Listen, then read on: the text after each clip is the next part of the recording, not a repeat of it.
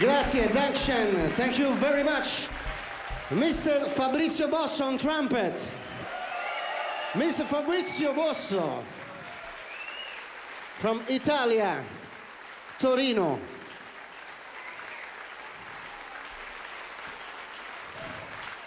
Mr. Baptiste Trotignon, organo Hammond. From French, Paris. Mr. Greg Hutchinson on drums. From America. And now, ladies and gentlemen, from uh, Roma, eh? Stefano Di Battista. Thank you very much.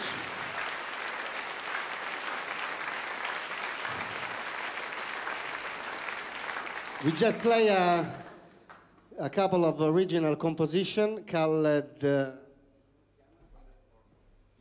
Weather or Not was, uh, I mean, it's a my composition, but the title I don't remember. I never remember. You too, Greg, you don't remember the title. You remember the So, and the second? Yeah, Under Her Spell, this one. Was nice, eh? Like, uh, but we changed the, normally in, on the album is right, Under Her Spell, but we call we call it this tune uh, stu Stupid Ballad. And uh, we're going to continue with another composition. Uh, it's 5-4, do you know? 5-4, not difficult. Yeah, it's The Serpent Charm, the original title, and uh, we do the 5-4 because every uh, serious band has a 5-4. And Greg, he told me, if you don't have 5-4, I don't come play with you. So we write a 5-4 special for you. No, I'm kidding. Thank you very much and uh, buon ascolto. Grazie, grazie a tutti.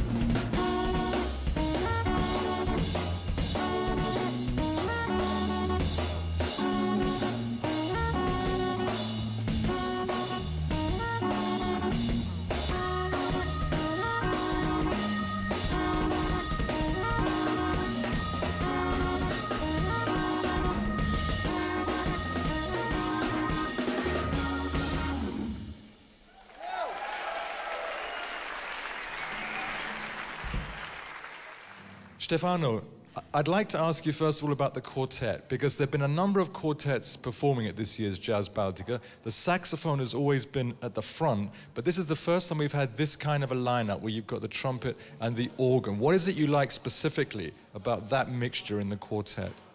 But I like the the organ Hammond because he has uh, also um, a sound uh, when he put the Leslie um, my impression that is my, is I'm uh, so I'm uh, in the music. I mean, his sound is so so warm, so big, and uh, it makes me feel so comfortable.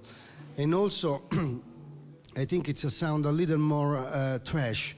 And um, I was supposed to, to do something in my future like that, and now I think it's the right occasion to to put this band together. Fabrizio, the trumpet player, I like very much because uh, when he played the, the, melody with me, he, he made the sounds more clear and more a little trash. I, I, I don't know why this this project.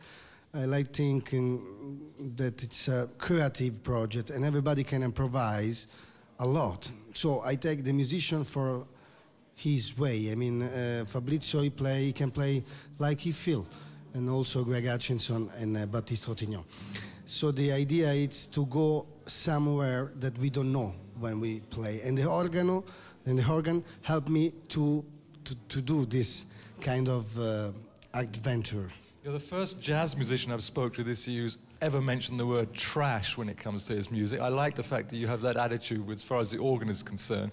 You don't need to comment about that. You were born in Rome, you still live yeah, in Rome. Yeah, yeah, but you did spend a lot of time in France, which was a very important part of your career, I think. Perhaps you could briefly tell us about what you were doing those years when you were in France, in Paris. Yeah, I think in French uh, I had uh, my second life. I mean, I say my second life because uh, I, I, had the chance to meet uh, people like uh, Michel Petrucciani, like uh, Elvin Jones, Aldo Romano, and uh, was so great experience for me because I start uh, my career in, in French with the ONJ, um, Orchestra Nationale de Jazz Française.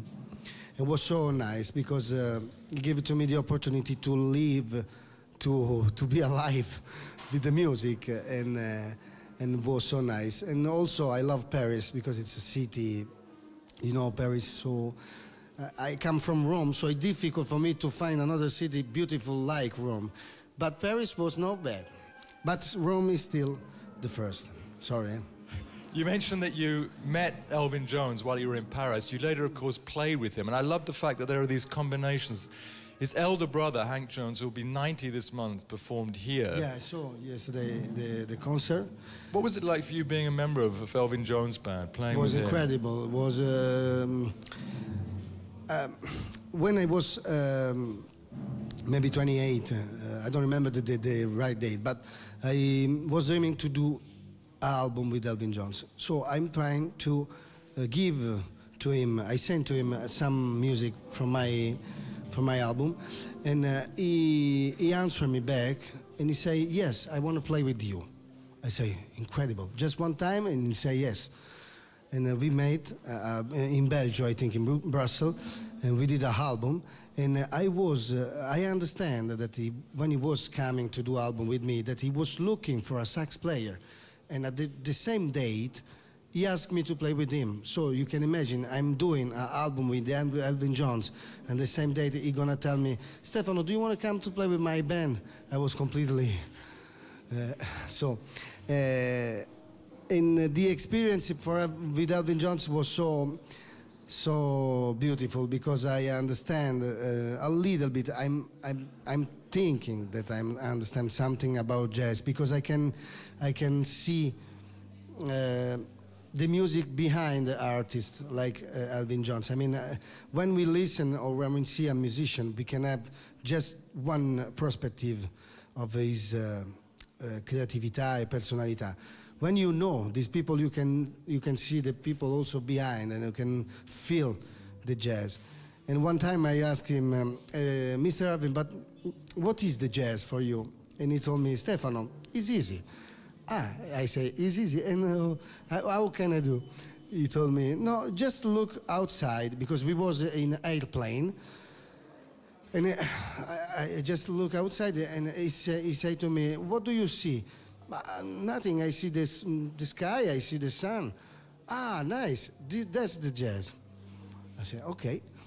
I go home, I'm gonna thinking about that. And now I'm still thinking, it's five years. And uh, I think still haven't the- found the answer. I think the jazz is uh, the interpretation that you give to your your um, sensation in life. So if you love life and people and sensation, you can be uh, more easily somebody that can understand the jazz. It's not real music, I think. Which saxophone players most influenced you? I ask you because I've put this question to several people who've named certain names and then said they went through a phase where after trying to sound like somebody, they had to go in exactly I- the opposite direction.